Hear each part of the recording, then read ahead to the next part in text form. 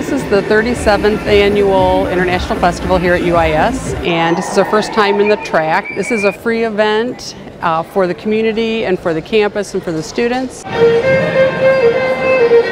It's really the once in a year that we really get to know about different culture. Like the school is really diverse, but then we never really get to know about each other. But this time is like it's like everyone is here, everyone is gather, gathering, and then we really get to know about each other. It's really fun because it's a huge party, and there's lots of music and dancing and food, and that's what you need for to have a good time.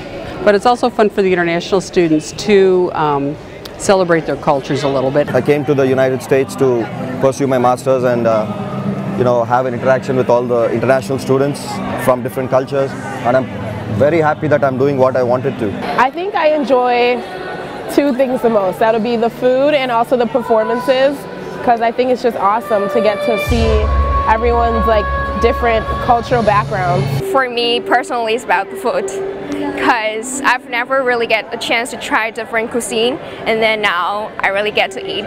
The favorite part was something called the guzheng instrument, the Chinese uh, Chinese instrument, the guzheng. So I actually enjoyed that a lot. It's a good opportunity for people to meet somebody from somewhere else.